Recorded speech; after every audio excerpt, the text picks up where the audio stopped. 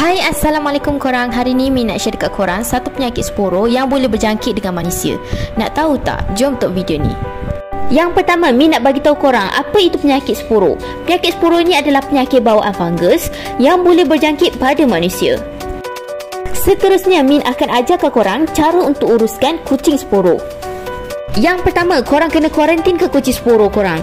Jangan biarkan mereka berkawan, bermain atau bergaduh dengan kucing yang lain. Sebab apa? Dikhawatiri mereka ni akan berjangkit. Yang kedua, korang kena bersihkan sangka guna Clorox. Lepas tu, alaskan dengan surat khabar.